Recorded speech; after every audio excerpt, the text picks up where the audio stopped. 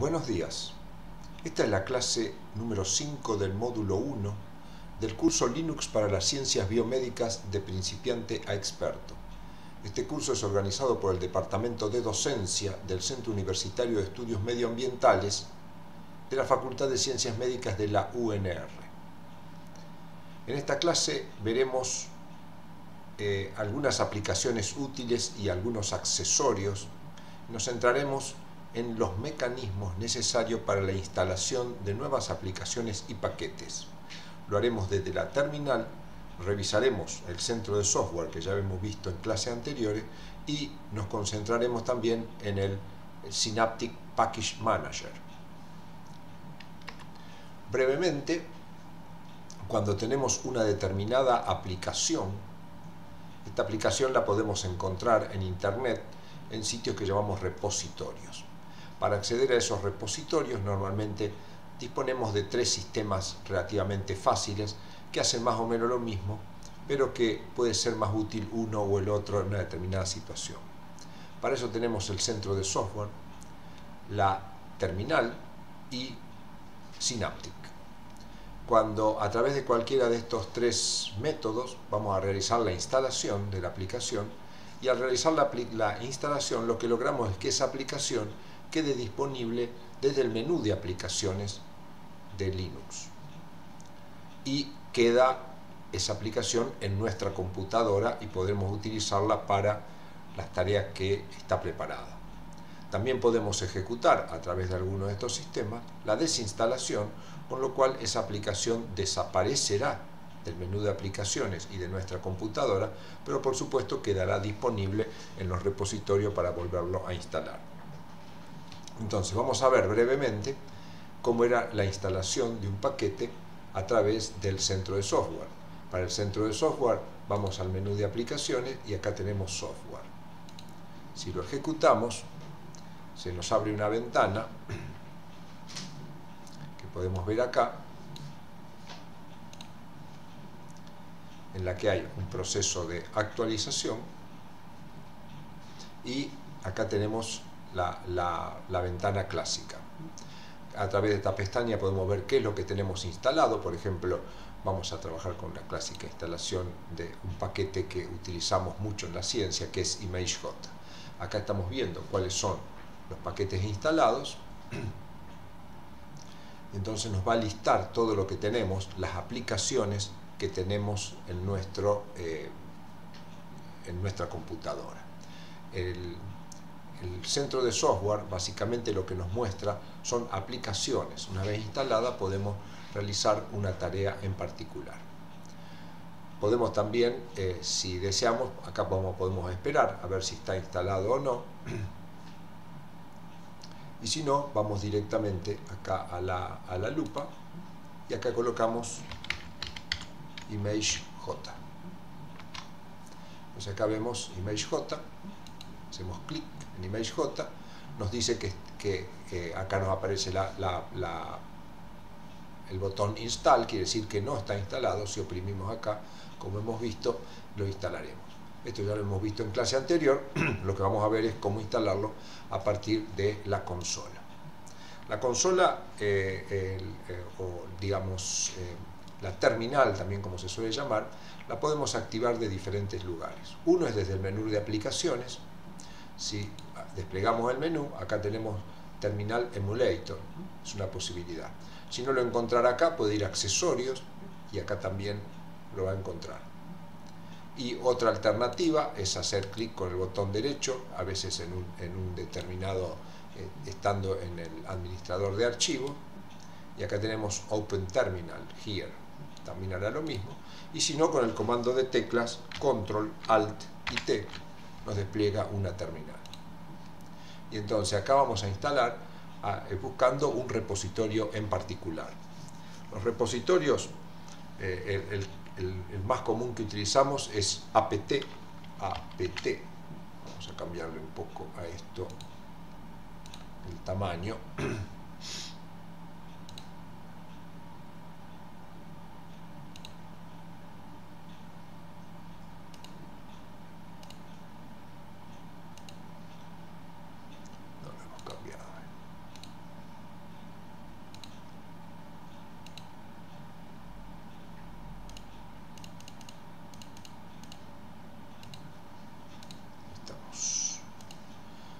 El, repositorio más común es apt, pero si no lo encontramos podemos probar en dpkg o en snap. Son de diferentes repositorios en los cuales vamos a encontrar.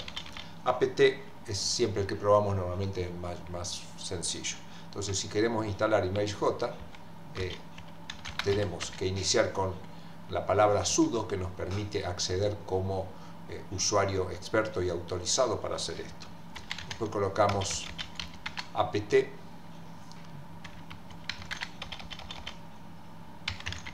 install y acá el nombre del paquete que queremos instalar o la instalación. Es la eh, image j. Nos pide la contraseña.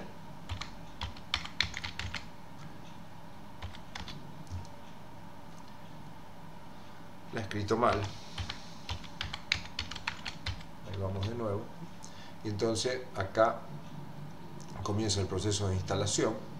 Nos va dando detalles. Si hay algún error vamos a ver que aparece en rojo. Acá, eh, si no hay nada complicado, esto se ha instalado y normalmente las aplicaciones arrancan desde la terminal con el mismo nombre que lo instalamos. Si colocamos ImageJ, acá vemos que se abrió la eh, aplicación eh, conocida. Si queremos eliminarlo,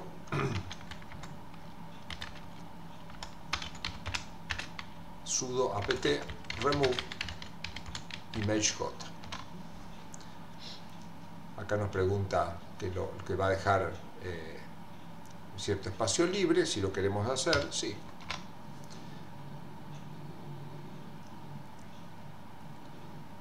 Y acá ya nos liberó. Si ahora ejecutáramos nuevamente ImageJ, eh, nos dice que no, no está disponible.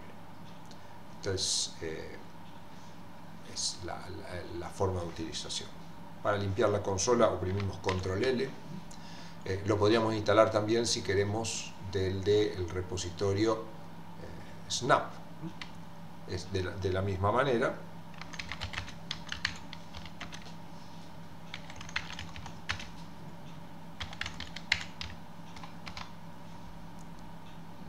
Dice que eh, Snap ImageJ no está disponible, no, no, no encontrado, eso es porque no tendremos la, el, repositorio no contiene esta eh, aplicación en particular. Probemos otra, por ejemplo, eh, la aplicación Skype, que es de comunicación.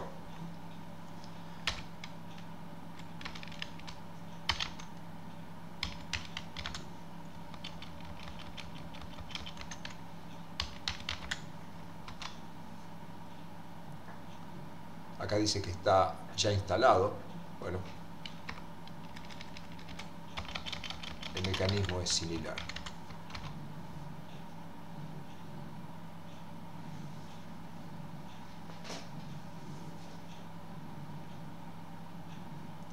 Acá nos está desinstalando diferentes bibliotecas y eh, partes de la aplicación Skype que eh, necesitamos habitualmente.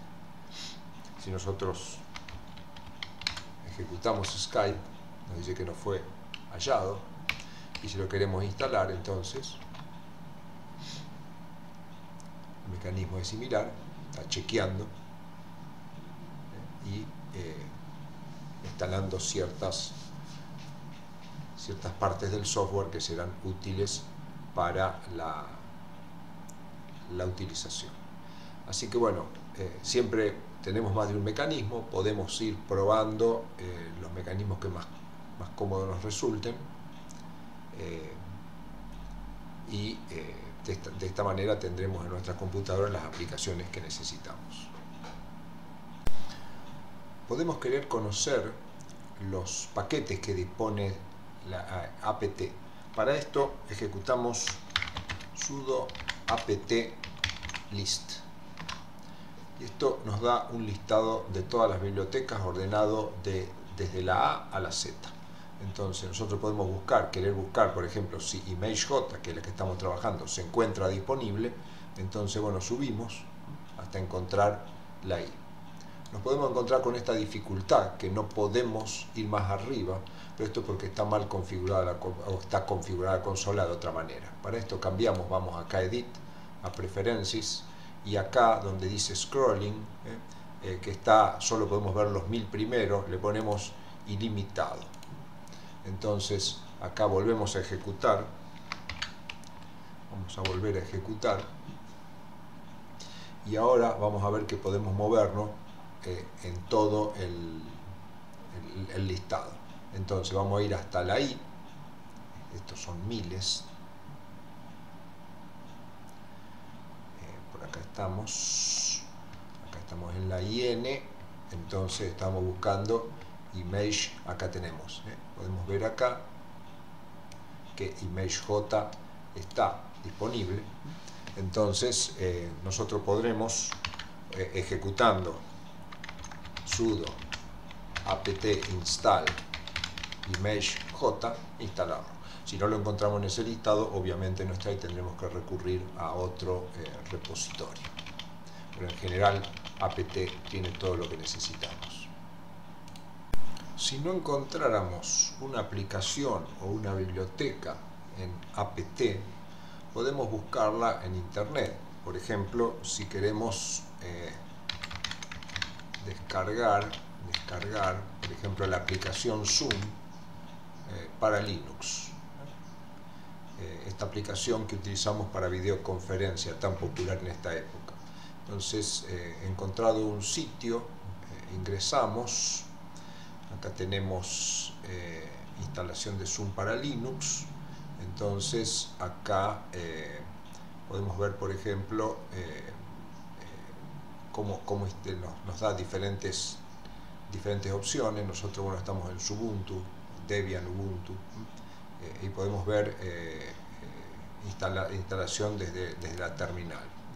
Entonces acá tenemos para descargar el paquete deb, entonces acá tenemos descargar. Entonces, eh, en este caso, por supuesto esto va a cambiar, acá nosotros vamos a descargar para Ubuntu y eh, descargamos el paquete. Como podemos ver, nos está descargando un paquete que se llama Zoom AMD64Dev, que lo va a descargar en Downloads. Entonces, eh, acá ya está descargado, vamos a poner que lo reemplace. Y acá nos muestra el, avance de la, de la instalación. Una vez que finalizó, vamos a hacer clic acá, eh, vamos a cerrar, va a ser más fácil. Eh, vamos a través de un administrador de archivo, nos vamos a descargas y acá tenemos eh, Zoom AMD64.deb, paquete deb. Entonces lo que hacemos para instalarlo, acá podemos ver que si nosotros vamos a, acá a internet no tenemos Zoom disponible. Entonces, ¿cómo lo instalamos? Abrimos, como vimos, una terminal que esté en la carpeta donde se encuentra nuestro paquete DEP. Y acá eh, vamos a utilizar la aplicación DPKG. Vamos a ampliar esto para que se vea mejor. Entonces, aquí utilizamos sudo dpkg y acá eh, es guion i de install o bien podría ser doble, doble guion pero bueno vamos a utilizar el más sencillo. Y eh, le damos el nombre del paquete. Zoom-amd 64.deb con largo entonces como estamos con sudo nos va a pedir la contraseña.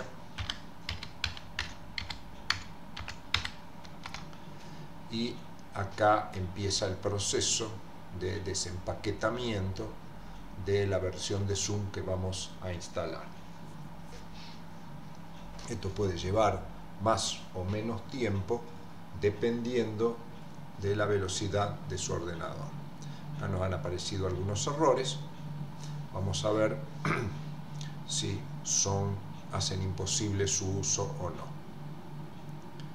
La aplicación entonces es Zoom. Esto cuando termina el proceso de instalación vuelve el cursor al prompt de la consola. Entonces, muy bien, lo que vamos a ver es una vez finalizado el proceso, nosotros podríamos arrancar la aplicación desde acá, y si no, eh, si todo el proceso fue exitoso, si ahora vamos al menú de aplicaciones y vamos a internet, acá encontramos ahora la aplicación Zoom, que la podríamos activar desde acá, o bien directamente desde acá ejecutando el nombre del archivo. Si lo quisiéramos desinstalar, es similar. Vamos a ver. dpkg y utilizamos menos menos menos remove o bien menos r directamente y colocamos directamente el nombre de la aplicación y entonces acá empieza el proceso de desinstalación entonces esto, esto es interesante para eh, la forma cuando descargamos un paquete, recordémoslo, cuando descargamos un paquete dev, eh, instalarlo eh, con la consola abierta donde está el paquete.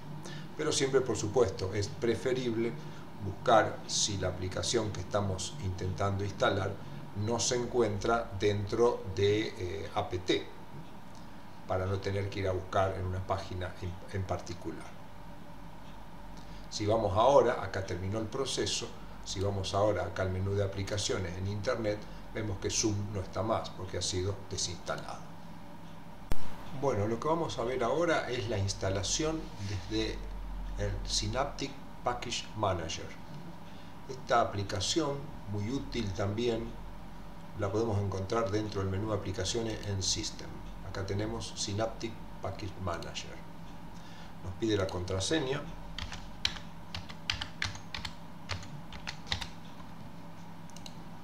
Ingresamos.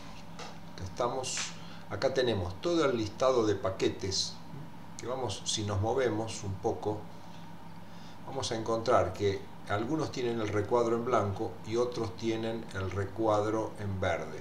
Este, este casilla de cliqueo de recuadro, cuando está en verde quiere decir que esa, esa aplicación está instalada, mientras que cuando está en blanco no lo está. Acá tenemos algunos recursos para búsqueda, pero lo vamos a hacer más sencillo. Supongamos que queremos instalar ImageJ, nosotros vamos acá a Graphics, eh, no tenemos instalado ImageJ, recién en la clase lo acabamos de desinstalar, entonces lo queremos instalar. Ya sabemos cómo hacerlo desde otros sitios, pero lo vamos a hacer desde acá. Entonces, ¿qué hacemos? Buscamos la aplicación.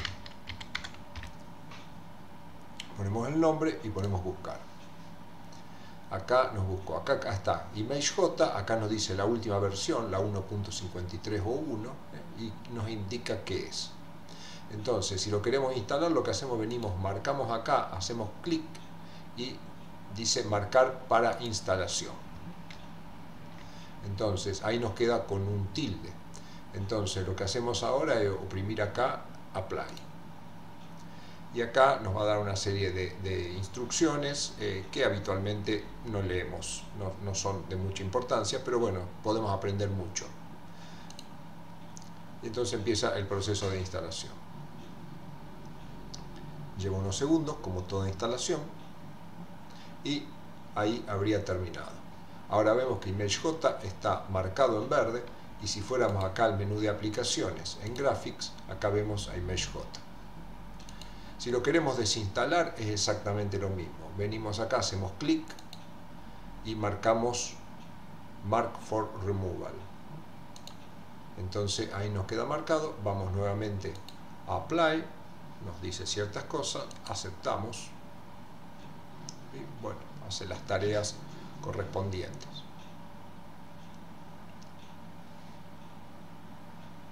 Una vez que terminó, vemos que acá eh, ya no está instalado y si fuéramos acá al menú en Graphics, ya nos ha desaparecido.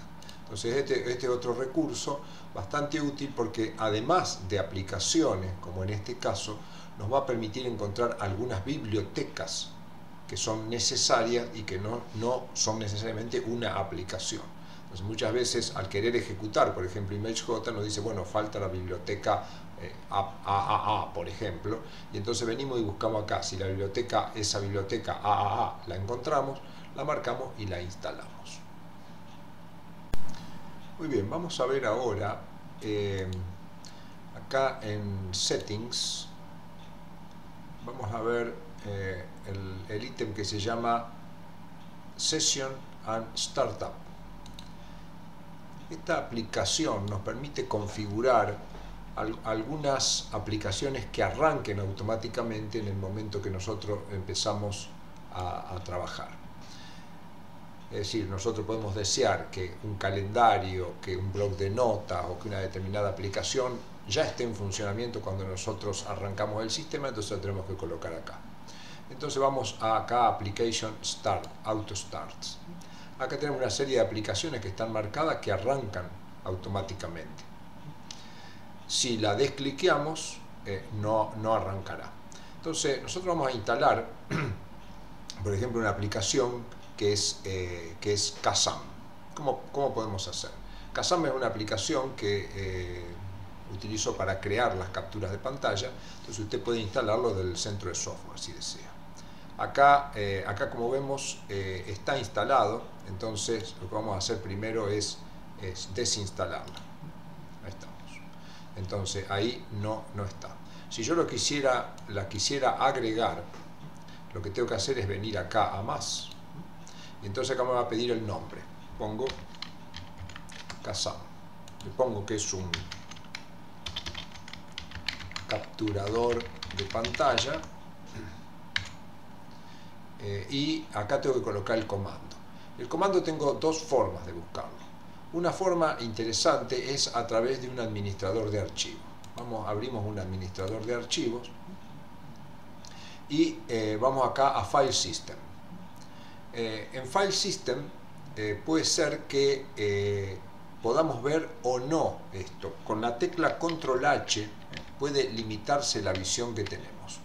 Entonces, dentro de File System vamos a USR. Acá en USR eh, vamos a colocar USR, vamos a Share. Y acá vamos a tener eh, aplicaciones, acá está, vamos a ver, ampliarlo un poco más, vamos a ver dónde quedó acá, aplicaciones, entonces vamos a aplicaciones y acá nos van a aparecer todas las aplicaciones con sus ítems. Nosotros queríamos Kazam, están ordenadas alfabéticamente,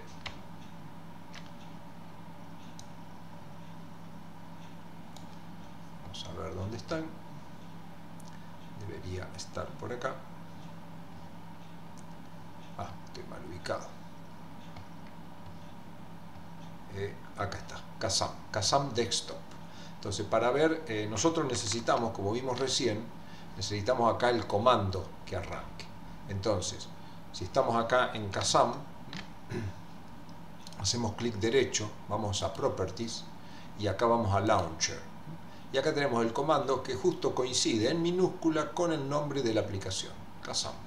Entonces volveríamos acá y acá colocamos eh, Kazam. Otra, otra alternativa también es ir directamente desde este sitio. Si vamos desde acá, hacemos exactamente lo mismo. Tendríamos que encontrar acá eh, el el sistema. Entonces a veces acá es un poco más difícil. ¿eh? Vamos a, acá a, Home ¿eh? y nos movemos hasta que encontramos el, disco que sería System.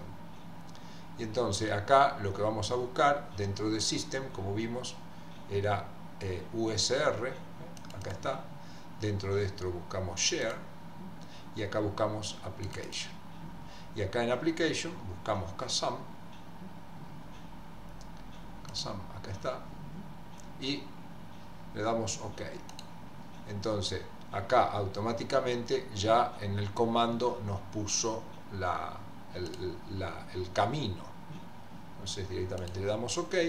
Y acá si nos vamos y nos fijamos al final acá ya tenemos incorporado a Kazam yo no lo quiero dejar porque lo, activo cuando, cada vez que lo necesito, entonces lo marco y eh, lo elimino. Bueno, vamos a ver ahora cómo editar el menú de aplicaciones. Vamos a ver Graphics. Nosotros vamos a trabajar con ImageJ, acá tenemos ImageJ en Graphics. Supongamos que no lo queremos más acá en, Graphics, sino que queremos una nueva categoría que es Education. Entonces, si no lo queremos en Graphics, lo que hacemos, marcamos clic derecho y ponemos ocultar aplicación. Acá nos pregunta si la ocultamos, sí. Entonces, acá si venimos a Graphics, vemos que no tenemos más eh, eh, a, a ImageJ. Ahora lo queremos agregar, entonces vamos a usar el editor de menú. Vamos a Settings, acá abrimos menú Editor y se nos abre esta pantalla, pantalla donde ya tenemos la categoría Education. Podríamos crear otra categoría si queremos. Entonces nos posicionamos en Education y eh, vamos a signo más. Acá colocamos Add Launcher y entonces acá vamos a elegir el icono. Si hacemos clic acá, podemos buscar icono y se nos abre la carpeta de iconos habitualmente está acá, si no lo iremos a buscar o crear de otra manera, probamos la forma más sencilla. Entonces, buscamos por el nombre de la aplicación, acá estamos FG HI. Acá tenemos el clásico icono de ImageJ. Vamos a Apply, acá tenemos el icono. Ahora acá en Launcher le ponemos el nombre del programa, MeshJ y acá le podemos poner una descripción. ¿eh? Ponemos, por ejemplo, software manejo de imágenes. Así cuando vamos al menú nos recuerda qué es. Acá en comando lo podemos buscar a través de la carpeta. Vamos a eh, USR Share Application y acá buscamos ImageJ Desktop ya lo tenemos, y eh, el working directorio es USR Share Application, que lo buscamos también de acá. Si ya lo tenemos marcado, probablemente acá está.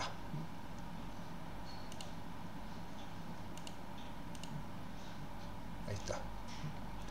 Entonces, tenemos algunas otras opciones para que nos aparezca en, Education. Tenemos que eh, acá en Categories ponemos agregar categoría y seleccionamos una categoría. ¿Cuál seleccionamos? Education. Acá cuando seleccionemos Education nos va a pedir que guardemos los cambios. Y guardamos los cambios, ahí vemos que nos quedó agregado. Eh, damos salvar, sino que está salvado y cerramos. Acá si ahora vamos al menú de aplicaciones, vamos a ver que dentro de Graphics lo habíamos borrado, no lo tenemos más, y acá en Education ahora tenemos eh, ImageJ para utilizar. Si lo queremos eliminar, hacemos lo, mismo, simplemente lo, que hacemos es, en realidad no, no estamos eliminando el software, sino simplemente el link y el, el icono para buscarlo. Bueno, vamos a ver ahora eh, otro seteo de acá de settings. Eh, vamos a ver em, lo que es Power Manager.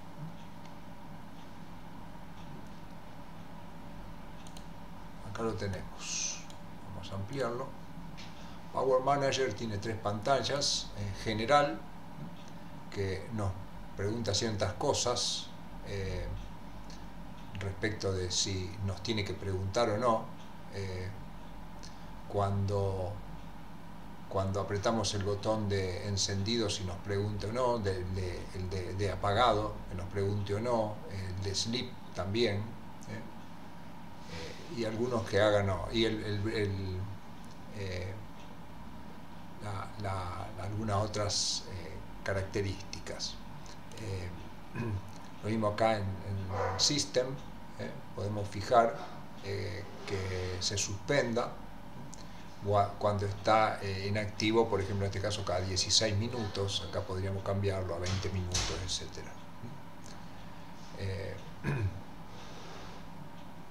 y acá eh, le podemos poner que la pantalla quede bloqueada ¿eh?